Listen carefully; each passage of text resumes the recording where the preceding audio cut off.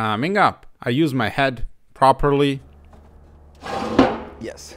The discoveries. It seems we have some sort of penis here. And will it run? Welcome back to part 6 of Project Chicago. In the previous episode, we reunited the car with a freshly rebuilt engine, and now we are continuing the parts reinstallation marathon as we come closer to our goal the first start. And now we're going to do the fuel filter. Alpina, of course, uses Alpina specific fuel filter, which means it's not available as OE or aftermarket. You can only get it directly from the dealer. And this is the most expensive fuel filter I ever bought in my life, 155 euros. For that over there, basically a label, a badge, something that normally costs 15, 20 euros. But it is what it is. We have freshly cleaned injectors, so fresh fuel filter is a must here. The fuel filter lives right over here, which means we have to remove this plastic cover. And the car did have a bit of a whoopsie here on both sides, so someone bottomed out at some point, but it's not too bad.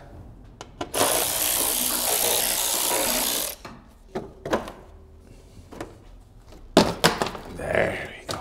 Oh, it seems, seems we have some sort of penis here.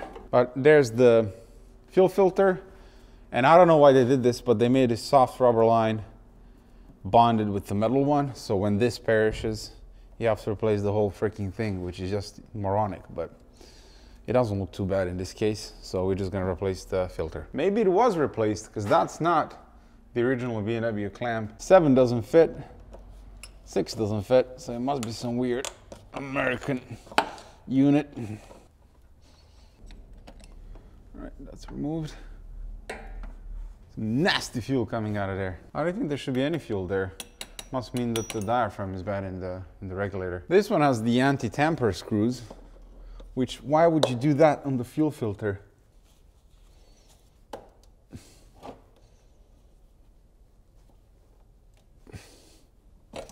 Oh! Spilled about three bucks of fuel there.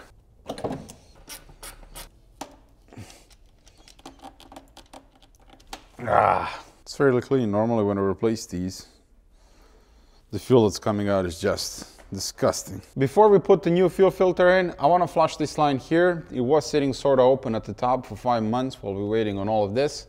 And I don't want that old fuel to end up in freshly cleaned injectors. So I'm just going to get an air hose here and blow it out.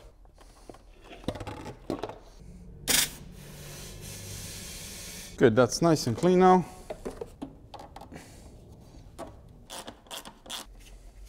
Clip in that. All right. Before we leave, let's put a date on it. What date is it? September 2056. Is that good? Let's give it a smiley. Happy filter.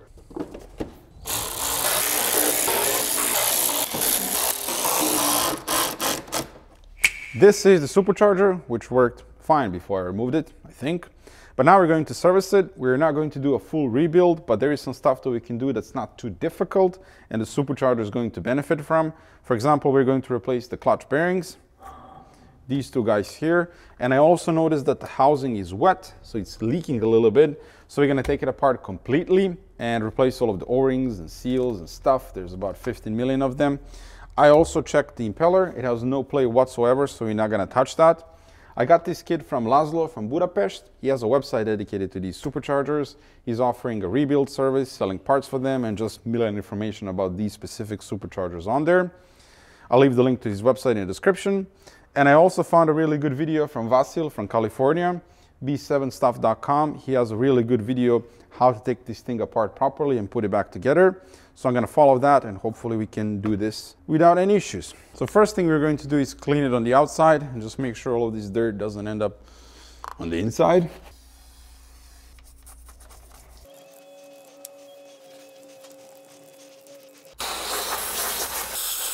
That should do it. All right, we have a clean working surface and a clean supercharger. So first I'm gonna remove this thing here.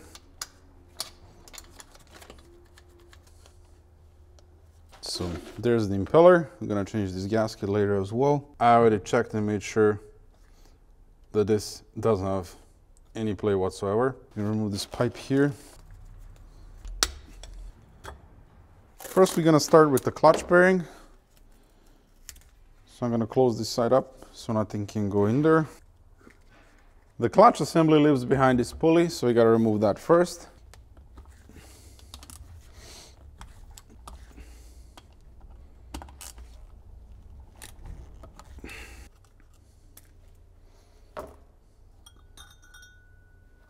The clutch friction pads look good. Smells like shit, but looks good. Remove the plate.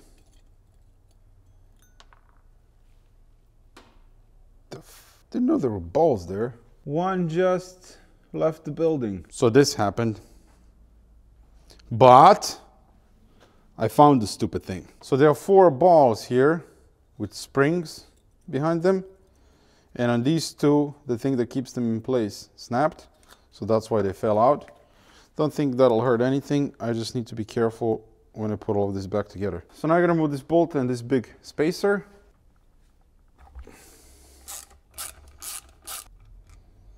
Don't think this thing was ever apart. We have the clutch removal tool, which Laszlo sells.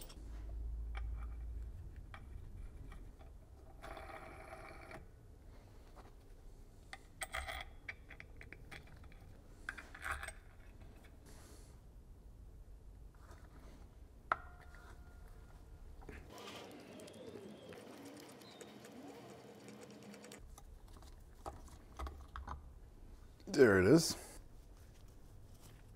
So the clutch thickness should be minimum two millimeters, and we are at nearly four. So that should be fine. Now we're gonna hold a press conference and press the bearing out. Set it on a cup and have a 30 mil socket that I need to flip around in order to fit perfectly and push out the bearing.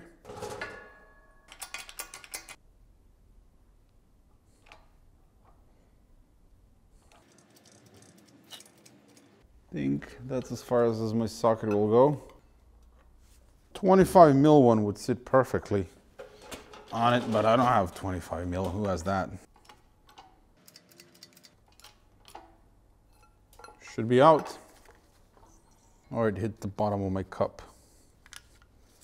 There's one. Ooh, there's a shim there. Don't lose that.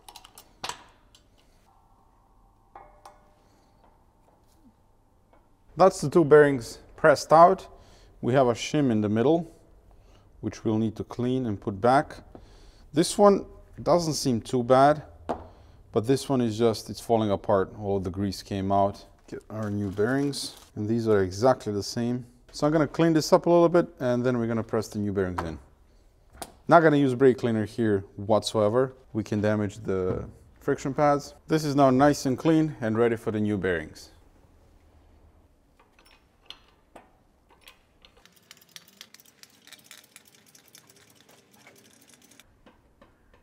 Now the second bearing.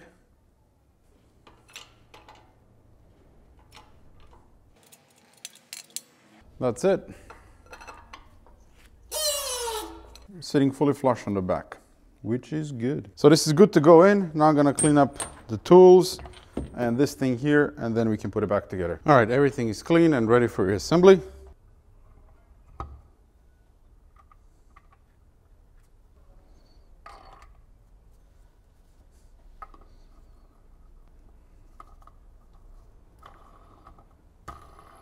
And now we simply screw it in.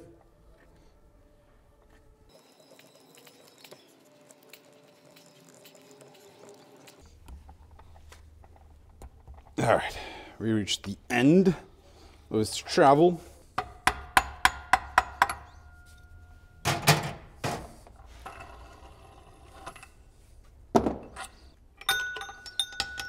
Clean spacer, brand new bolt, and we're going to apply medium thread locker and torque it to 25 newton meters. Now I'm going to put back the springs, the balls, and then a clean plate. Pulley, which I thoroughly cleaned.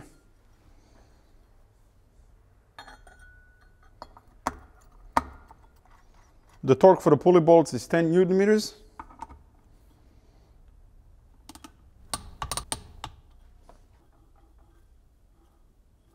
Is it me or it sounds a lot quieter? So much quieter. Now we're gonna start with the O-ring replacement. The first O-ring is here.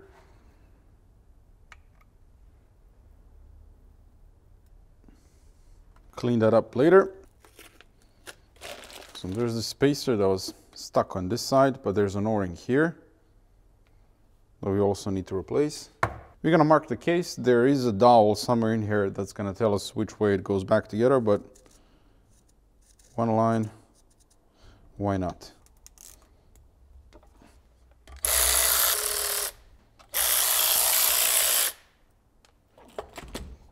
So this one here is shorter than the others. Now we have slots here and here. So we're gonna engage some screwdriver action. But we're gonna put tape on them to protect the aluminum casing.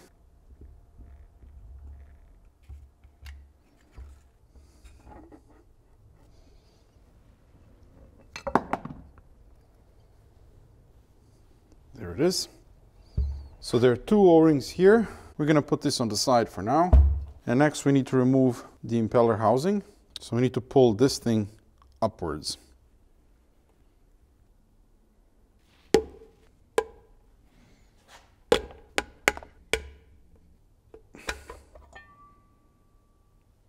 Voila. Not a big seal here. It's very sharp. Two clean rubber blocks. So we can flip this over. And it's gonna rest on the plate and not the impeller. And now we need to remove these two helical gears. Two 4 mil hex bolts. These have Loctite on them.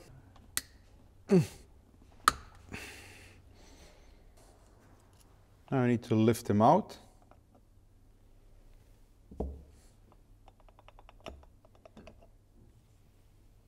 Now we need to undo this plate. Wait a minute, the impeller wants to come out. Okay.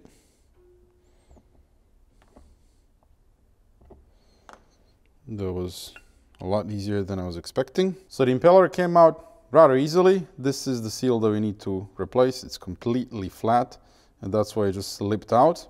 And be very gentle with this. This spins at 90,000 RPM. And then there are two shims here as well that we mustn't lose. And then this plate has an O-ring there as well. So this is the complete thing disassembled. So now we're gonna start replacing O-rings, two big ones, the biggest one. All right, we're gonna start with this plate here. So I'm going to cut and remove the old O-ring because it's hard as a rock and I don't wanna damage this thing. And this is a dull tool. And no damage to the plate. This is plastic. So this is now nice and clean. Grab our new O-ring. Need to oil it up and then slide it over. And just make sure that this is seated correctly. Put back the shim. Now we're going to do the impeller and this thing has a very high spec bearing inside and this one is fine so we're not going to touch it but it's also something that can be replaced. Anyway, now we're going to remove this o-ring here so we can cut it as well.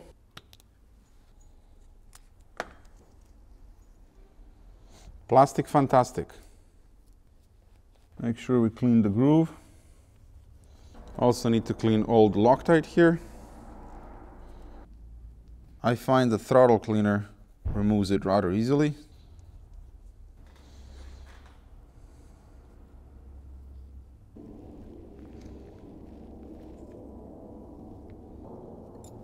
Do a bit more of oil there. Now we can focus on this part. Carbon fiber doing its job. Lovely. Here's the shim that we're going to clean as well. It's one. I'm not pushing the blade all the way in, just stabbing the O-ring a little bit on the front and that way I can break it without damaging the surface behind it.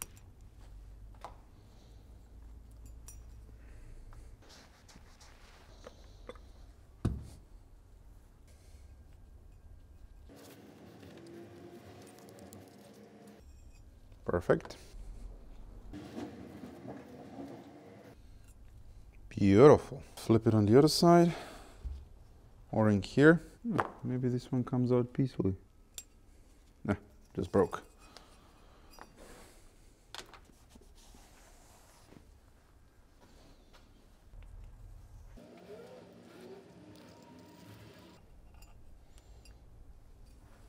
we are ready to put back the impeller. Now I'm gonna put back the shim, same way it came out. Do the same thing with the impeller. Now we take the impeller and put it back in. So now we need to push it in or tap it in. So let's try pushing first. Yeah, I think pushing is not gonna happen. All right, obviously this is gonna take a lot of force to put it back in. I can't press it in and I'm kind of skeptical about hitting it here. So we're gonna take a different approach. So I'm gonna take this plate and have longer bolts here with washers, which I'm gonna put through. And then we're gonna start uh, the bolts from the other side and slowly pull the impeller in. I think that's the safest way to do it. But let's see how it goes. Pull this out for now, flip it. And now we're gonna install this thing shim and then lots of oil for this guy.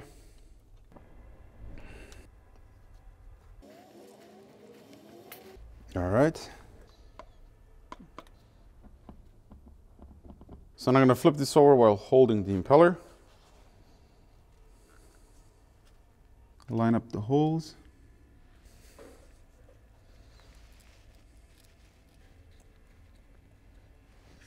It's one. See what I mean?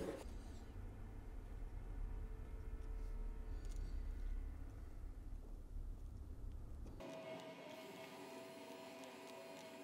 think now we're gonna go with a few more washers.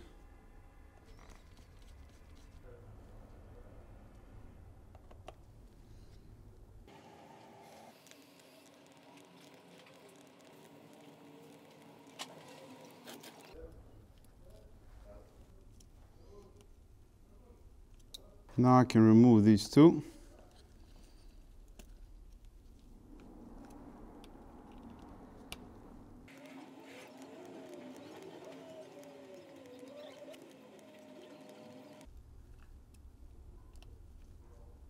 All right. Reached the end. It's fully seated. That was smooth. I like it. And no force on the shaft or the ring or anything like that just went in smoothly. Now we're gonna remove these two screws because we need to apply Loctite on them. And this is gonna stay in place because O-ring is keeping it in place. Brand new screws. And we're gonna apply again medium Loctite. That should do it. That's all of them in. So I'm just gonna snug them up. We're gonna feel when the bolt comes to the end of its travel. Like that. That's it. Now we're going to put back the helical gears.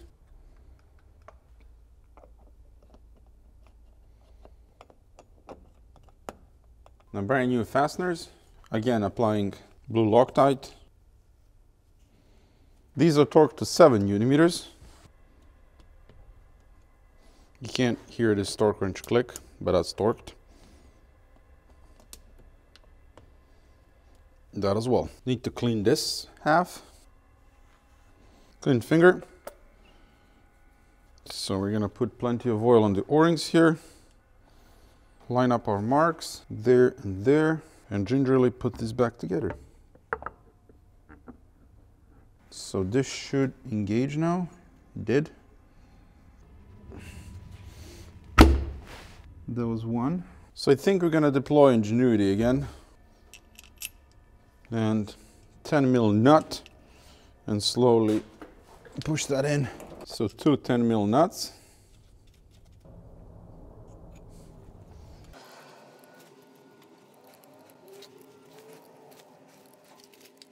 That's fully seated all around and safely installed. Keep in mind that this should still spin smoothly and easily. So now we need to clean this part of the housing. Now you're gonna oil up the O-ring. There's a dowel that goes here. It's gonna help us with the alignment. And this we need to do very gently in order not to damage the impeller.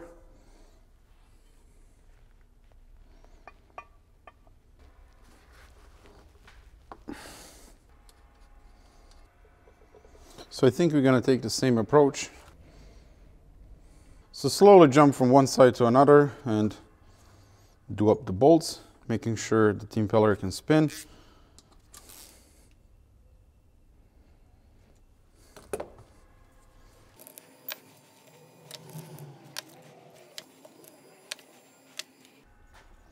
That's nicely seated all around and we didn't damage the impeller. Start the rest of the so the torque for these bolts is 9. Hey, clicked. And that's the supercharger fully resealed. I'm gonna go ahead and say it's a lot quieter now as well. This wasn't that quiet before, the clutch bearing. Everything still spins as it should. So now you're gonna put back the rest of the parts. So we have a seal here, and this one. Now this thing here, we have a brand new seal there. Clean this up.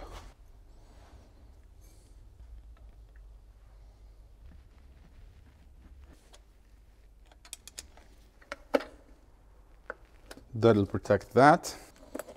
Whoa! Remove these O-rings here. officially done. To recap, these are the old O-rings, seals, and they are shot, plastic.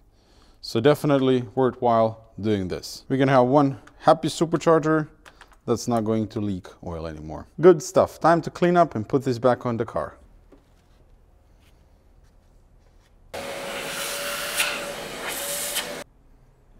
Lubed up O-rings, of course line up the holes and the dowel things. Now very important, the front bolts are slightly shorter than the rear ones. Supercharger belt. I thought I ordered a new one, but I didn't, so I just placed an order now. This one isn't looking too bad, but there's one small chip, so I don't like it. We're gonna install a brand new one. When it comes, Putting the belt on really wasn't that bad. Clamp for you and clamp for you. That does need to be very tight because boost. Brand new PCV oil separation piping thing. This is actually not the correct part for this mm-hmm. engine, but more on that later. This is an engine oil cooler that I removed from this car, and I know what you're thinking. Did Alpina really nicked someone's 50-year-old fridge cooler and put it on the car? They sure didn't. But one of the previous owners did. This car had a small front end accident, and from what I can tell, the bumper was cracked. The bracket where this cooler bolts to is broken. That means the cooler was broken as well. And instead of replacing it with the correct part, they just went to a garden, picked up a cooler, slapped it on the car. And in the process, butchered these lines as well. So this doesn't look good, and it's not gonna provide good cooling for the engine oil. So let me show you what the correct part looks like. This is it, Alpina stamped cooler. And in all fairness, I totally understand why they went with a random one. This puppy here will set you back between 450 to 500 European shillings. And it's not available as OE off the market. You can only get it directly from the dealer. And I did spend some time searching for a similar one because Behr makes these coolers for the N62 engine as well. But nothing that I saw, at least on pictures, looked like this. And I wasn't sure if it was going to fit. So I had to buy the correct one. On top of that, these two lines, and you're looking at 720 euros here. Now that's a lot of money, plus that's with discount from uh, Daniel. He works for the auto house Melkus in Dresden, so he gave me a bit better price than I would normally get. But still, quite a lot of money for cooler. We do have an issue. This plastic shroud is broken. Big piece of plastic is missing here. And of course, I didn't buy this new when I had all of this out of the car because I wasn't sure how the cooler was mounted. I thought it went something like this in front of the power steering cooler, but nine, it goes underneath, very close to the ground. So for now, we're gonna use some bungee ropes to keep it in place, but first we need to install the lines. I'm using some tape to keep this together, hopefully make it easier to install. Perfect. So I have pictures of how this thing is supposed to look like, and I placed an order for the new shroud. New gringos, oil. That looks spiffy. Again, this is just temporary. I did place an order for new shroud and when that comes in, we're gonna install this properly. This is the cluster of the car, disassembled. And as this is US spec Alpina B7, it naturally came with miles per hour cluster.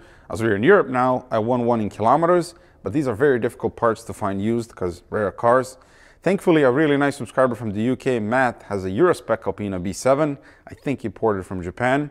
And his face was in kilometers, this one, and he wanted one in miles. So we just traded. I already sent him mine, and now we're gonna install this one into this cluster. It's actually not that difficult to replace. This thing just comes apart rather easily. Couple of screws, these things on the back, and it all buttons up. First, we're gonna clean this. So this slides in, just like that. Now flip it over. There you go. So no coating is needed because we only swapped the face. And this one just clips in. need to make sure it's clean though.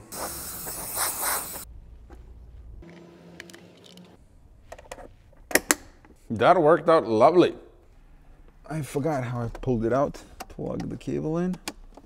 Click. And what now? Might need battery. See if we can lower the steering wheel a bit more. Does this go more down? Nope. Nope. Then how did I get it out? All right, a little bit of persuasion and you are in. By the way, I am looking for a nice set of wood trim for this car. Don't like this one and it's cracked all over the place.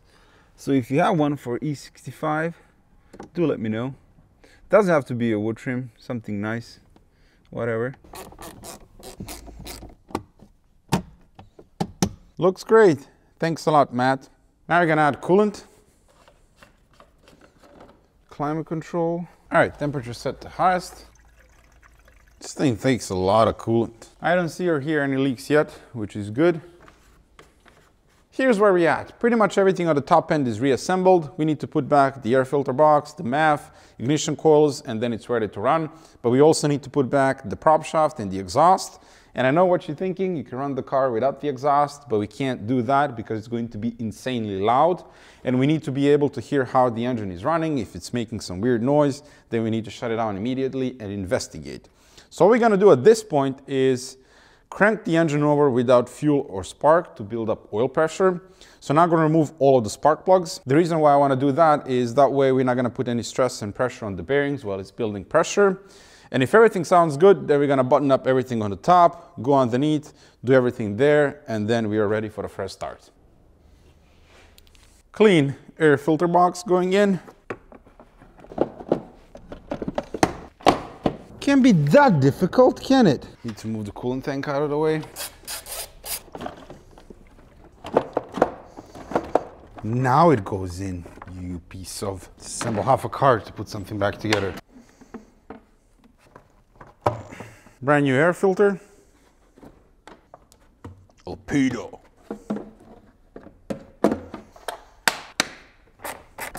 Now I'm going to disconnect the connector for the fuel injectors. Second one there. And now we need to pull the fuel pump fuse as well. Fuse 73 is for the fuel pump, the yellow one. Alrighty, the fuel system is disabled, ignition system is disabled. I checked the transmission fluid level, it's good. Power steering fluid is good, coolant is good, engine oil is good. And I also had to verify that we have a correct oil filter for this engine, because if you remember, we bought a brand new oil pump and it comes with the filter in it. And indeed, it was the wrong one. This is the only filter you want to use for this engine. It was specifically prescribed by Alpina. So that's in it now. And as far as I remember, that's everything. We are ready to press the button and see how this thing spins over. A little bit nervous, but it's not like we are starting it yet. So let's hear it. Here we go.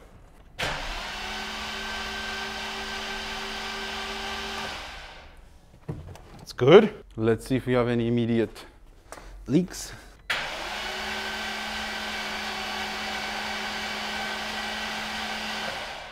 Oh, the power steering level went down. Yeah.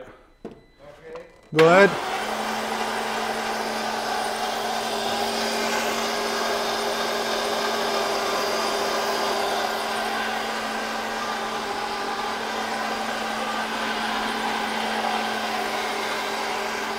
All right. Thank you very much. All right, I'm super happy with that. It sounds great. No weird noises whatsoever. Turns over nicely. So now we're gonna reinstall the spark plugs, ignition coils, the prop shaft, the exhaust, and then we are ready to start it. Brand new ignition coils, original Bosch, made in Slovenia, really good quality, so let's pop them in. Ignition coils are in. This is the prop shaft in good order. The old flex disc didn't look that great, so I bought a brand new one. New bolts as well, and the center shaft bearing is actually good, so we don't need to replace that. So let's first install this, and there is of course orientation how you install this. The arrow here needs to be pointing towards the transmission, this one, and then there's another one that's pointing towards the back, and that one goes here. And the repair manual specifically says to torque by the nut and not the bolt.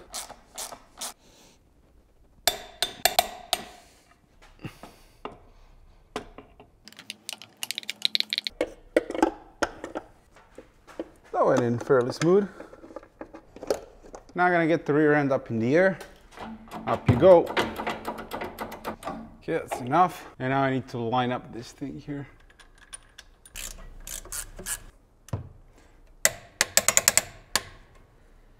This joint is torqued. Now I'm gonna support the transmission, then I'm gonna remove the cross member, and then I can get to the nuts in the back and torque that as well.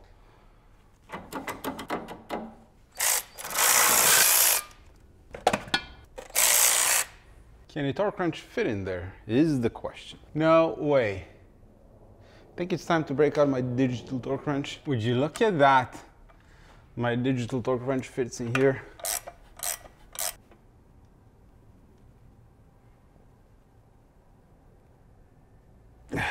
Okay, I've set it up properly now, so it'll beep.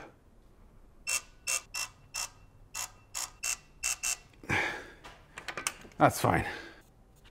That dreadful task is done.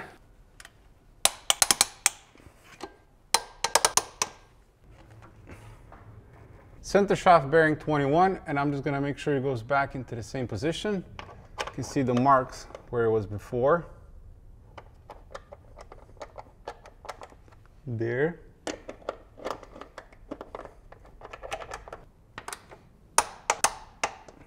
Prop shaft reinstalled. Next up, heat shields, which I need to clean first. All right.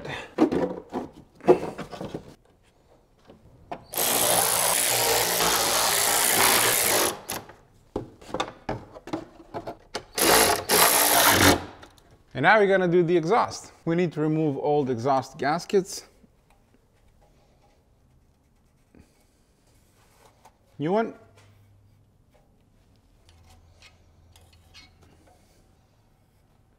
These gaskets do look like something that's going to seal really well. Ah, I'm gonna get the exhaust.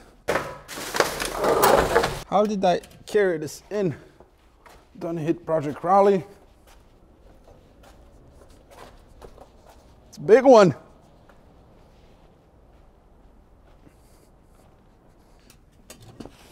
Say bye to Project Raleigh.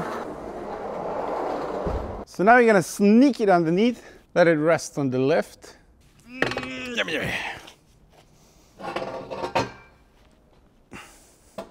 I mean, I don't want to drag you, but I will if you make me.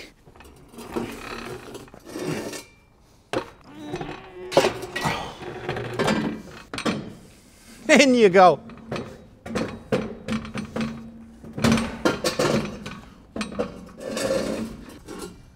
But that's fine.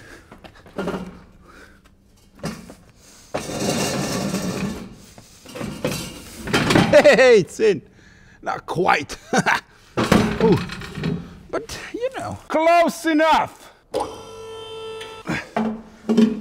All right, it's resting completely on the lift now. When a man loves the garbage of a car.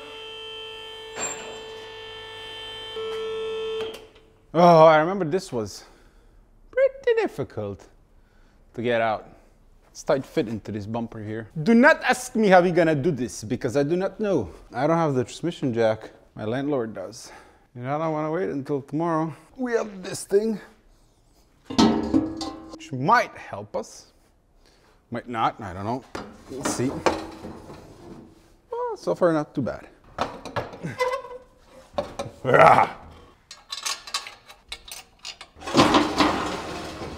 Use my head maybe.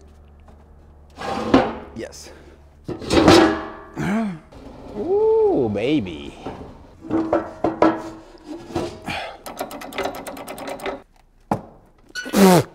Oh, I'm bending the heat shield. Oh, the heat shield. I can bend it back. Did we clear the bumper? How come it's hitting the diff now? Oh, yeah. Oh, man, wish I brought the nuts. But I didn't. I don't want to drop it.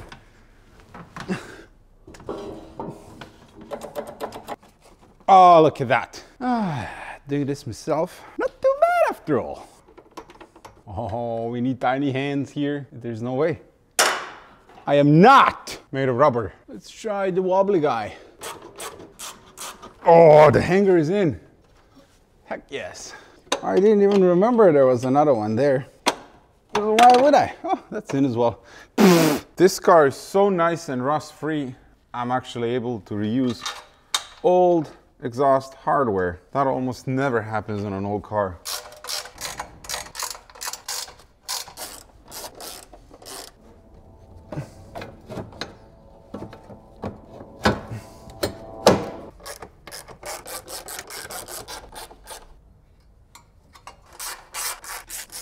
And that's the exhaust fully installed. It's time, boys and girls, it's time. I rechecked all of the fluids.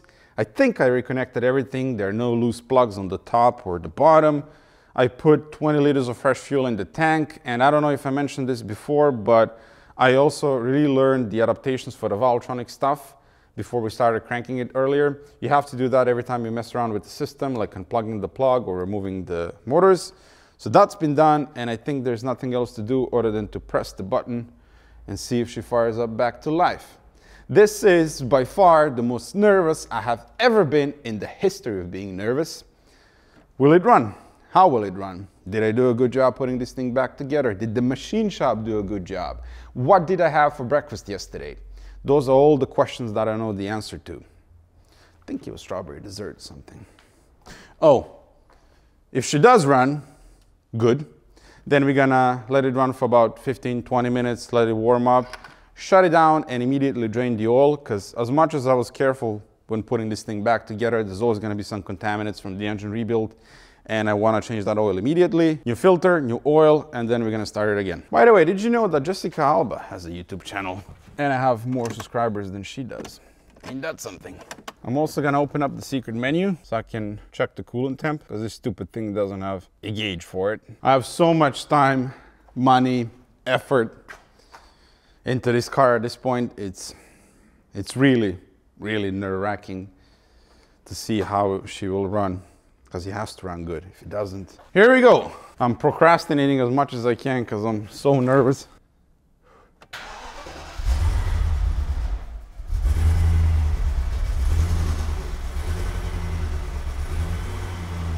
Come out of it.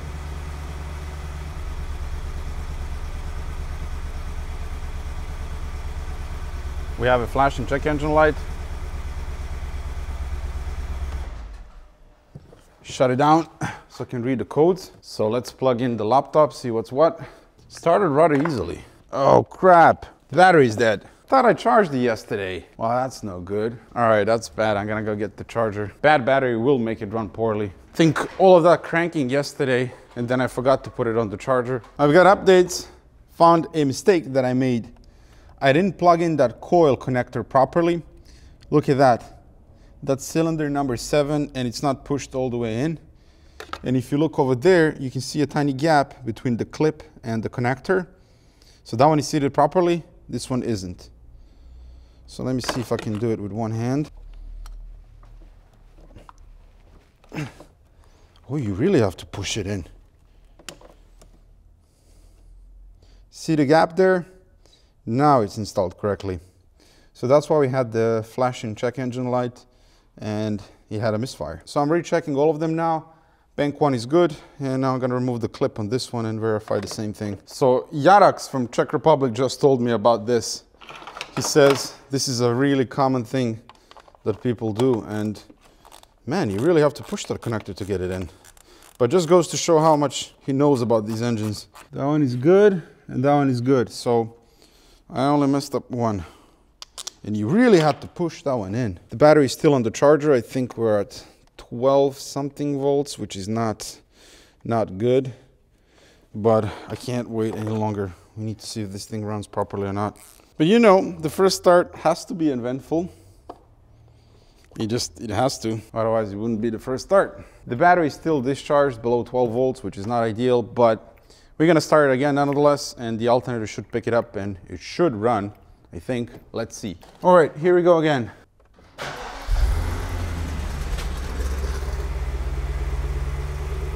Thirteen point five six. Hey, it's working good now. I think it picked up on the battery. 14 volts and charging. No check engine light. Good God, it sounds good.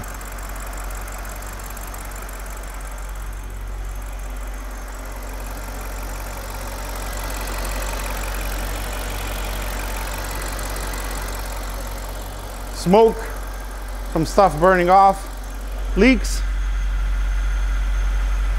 Nothing immediately yet. Oh my God, it's idling perfect as well. 700 RPM, no check engine light. She's alive! No smoke from the exhaust. Yes! We have coolant spillage there that's burning off. I can relax a little bit now. As I said, ignore that. There's a lot of stuff on the exhaust manifolds as well. I spared a lot of oil and coolant, so that's burning off. But listen to it.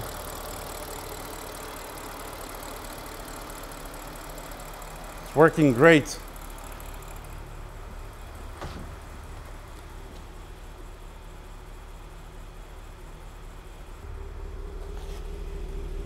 No smoke. Exhaust sounds good. Alternator charging.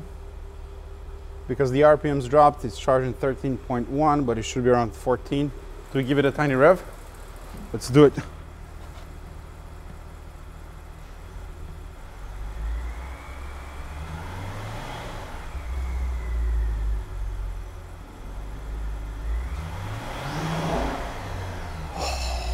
There's the roar. Oh man, she's alive and working wonderfully. Can't wait for that stuff to burn off. Still no drips on the floor. I can't believe how good it works. Yes, I shouldn't be that surprised. Everything is brand spanking new. It never idled this good before.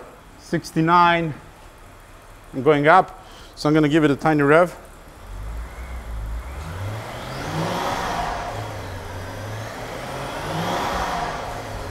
That was below 3000 RPM. So we're gonna wait it to reach operating temperature. So far so good. gonna turn the steering wheel from left to right a couple of times. All right, we're at 91. I think with that thermostat, it's gonna run to about 95. Power steering pump stopped making noise. The smoke is pretty much gone, a little bit more on that side. But just listen to it. We'll bring the mic closer. The clicking and stuff that you're hearing, that's normal. That's mostly injectors and mechanical stuff of the engine working.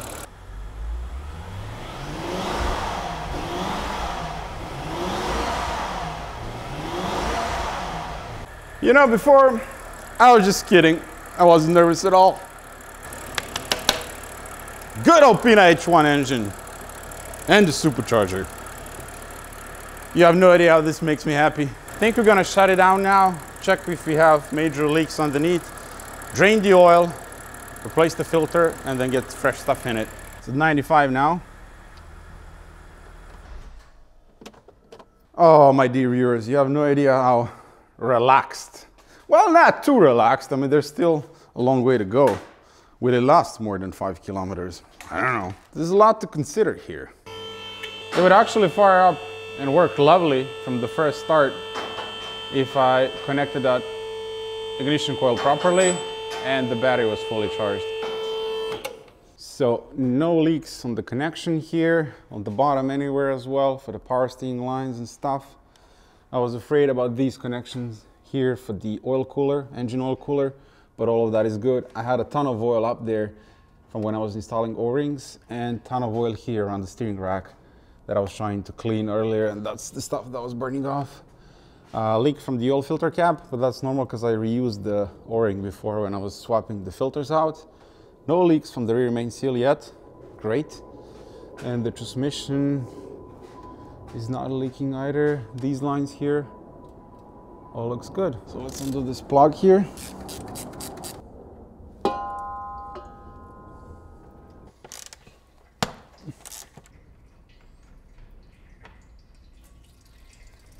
Doesn't look too bad.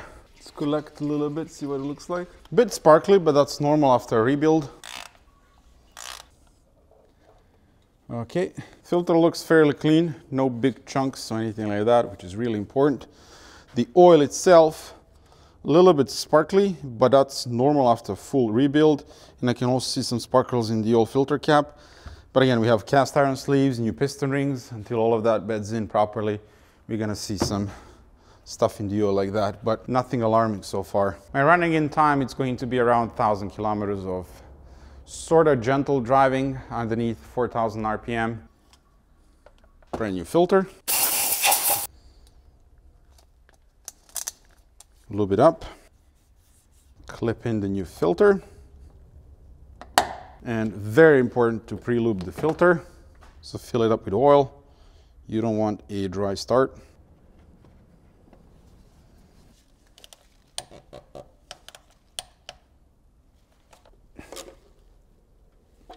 So this is my oil collection device from Liqui Moly. Finally have a proper one, huge bowl or whatever it's called. This thing here and also a mesh here so nothing can drop in.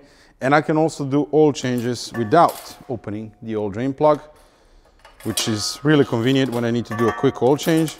So you just throw this through the oil dipstick, connect compressed air and just suck out the oil. Very happy with that. It's more fun without the funnel. All right, I checked all of the fluids. Let's get it going again.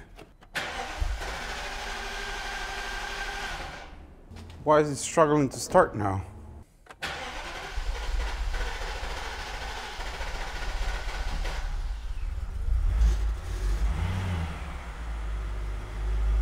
Not sure why did it struggle to start, but now that it did, sounds good. Maybe that's something to investigate. It sounds good. Fuel pressure regulator? I don't know. Perfect RPM. Must be some of the sensors or fuel pressure regulator or something. I don't know. Reverse. Transmission engaged. Drive.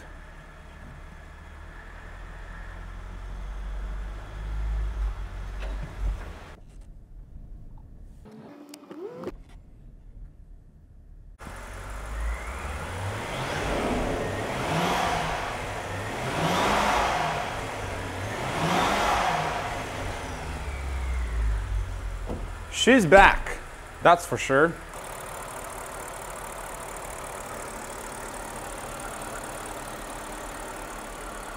Just listen to it.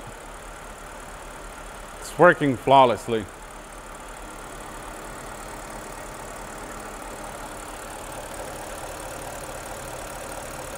Beautiful idle.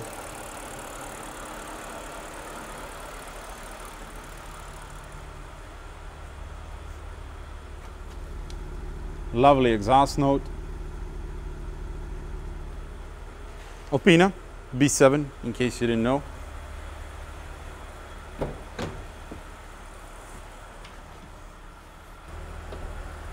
Love the soft close.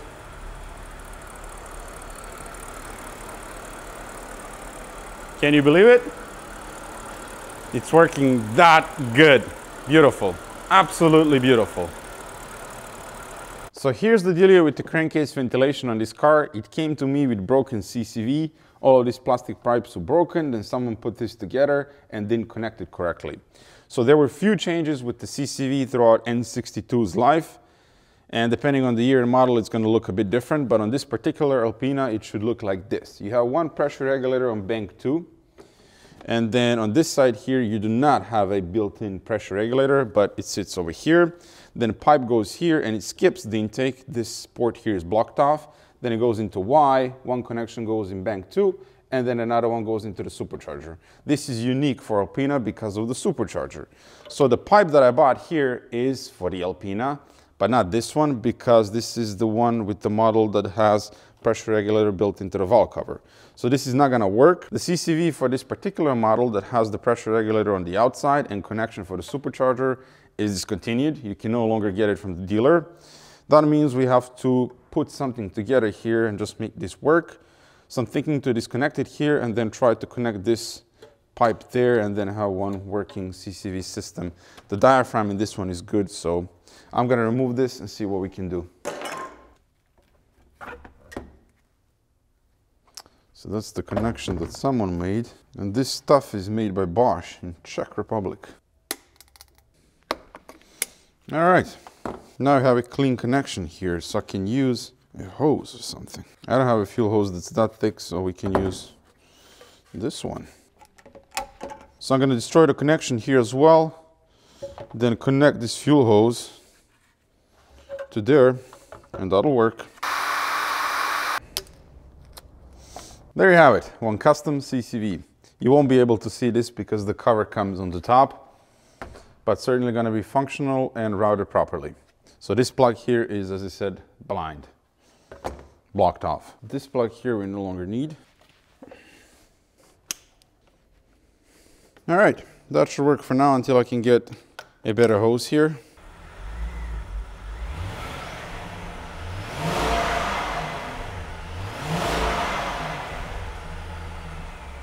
The roar is still very much there. And there you have it, folks. Alpina B7 is alive again, working splendidly, beautifully. I want to give a huge thank you to all of you for following along. Without you, I wouldn't be able to save this car. And a special thank you to all of my Patreons. With your support, I was also able to save this thing from getting crushed or whatever else. It came to me with a check engine light that would come up as soon as you touch the throttle. And when we found scored cylinders, I think two or three people questioned me whether full engine rebuild was necessary. And uh, in my opinion, it definitely was because we also found bent valves and it's gonna last a lot longer now with a proper engine instead of running around with scored cylinders and wondering when it's gonna blow up. So I'm very, very happy to see it running again. And with all of this, I'm going on a holiday, fellas. I've been working like crazy past month, month and a half, putting this thing back together. Since the last video, I've been working 13 days straight on this thing, putting all of this together because it was just, it was going really slow. I couldn't remember where some stuff went. So I had to watch my videos, how I took it apart, pictures and so on. But, but that's another thing. I really hate when I see people do engine swaps, rebuilds, whatever else, and then you just see that everything was put together in a rush bolts are missing, brackets are missing, nothing is routed the proper way. So I really wanted every single bolt to be back in its original place, every single wire, everything routed properly. And it is that way. So that's why everything took so long. I know shops that do this every day, they can do it in two days, swap the drivetrain and so on. But I am only one human, so it takes time. So I'm gonna be going on a holiday for two weeks, taking my E39 M5, my girlfriend, we're heading to Italy, then we're gonna hit France, down Riviera, south of France. I always wanted to do that road trip. So good food, good company, good drinks, good car. And once we come back, we're gonna go hard on this project and finish it completely. We're gonna change the suspension components that are worn out and then we're gonna take it for a drive because I don't want this car just to idle in the yard with a brand new engine. We have to drive it and break it in properly. So I'm gonna get red number plates, dealer plates from my friend, put it on the car and we're gonna go for a ride. Just make sure that this engine is gonna last more than five kilometers. And then we need to take it to German TÜV, get it registered, insured. And then I take it to my friends from Gyeon to Cologne. They have a state-of-the-art facility for detailing cars and they're gonna go nuts on this one and just make it look like brand new. And after 1,000 kilometers or so, after this car is fully broken in, I'm gonna take it to my friend to Munich, to Ollie from OE Motors. And he's gonna put this car on a dyno, see what kind of power it's making and whether it needs a tune. I'm gonna say it's gonna need a tune because this is a U-spec car and they always have different tunes to accommodate, well, fuel that's not as good as European one. So he's gonna do his magic there and Hopefully still makes proper power. That would certainly be nice. I think from the factory it was making around 500 horsepower, which is a lot. Thank you again for watching. This was a monumental amount of work, the most work I've ever done on some project. Well, I've done a lot of work on all of projects, but this is just, it was highly complex because I've touched every single bolt on this engine and pretty much around it and now it's working again. And that makes me really proud. I love you all. Enjoy the good weather. Spring is here, and I'll see you very soon.